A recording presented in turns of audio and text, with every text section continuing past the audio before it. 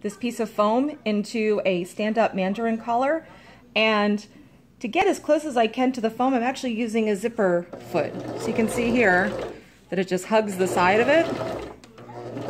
And you can go around the foam, which I think is kind of kind of cool. I thought I would show uh, off this snazzy little thing that I'm doing here.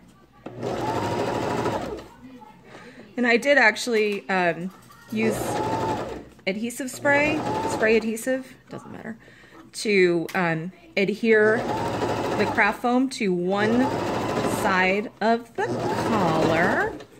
Talk about the little clippy things. Talk about the little clippy things. Oh, there's so many cosplayers out there that use the clippy things. I'm very, very impressed. It took me 25 years to find the little clippy things. I don't think they've been around for 25 years. You don't think clips have been around for 25 Not years? those particular ones. Um, I I think that I'm still late to the game, but I kind of love them. They also work really well on fabrics that don't take to pins very well. So if you're using fabrics that have a tight, tight, tight weave, and you have a hard time even pushing the a pin through it, clips are awesome.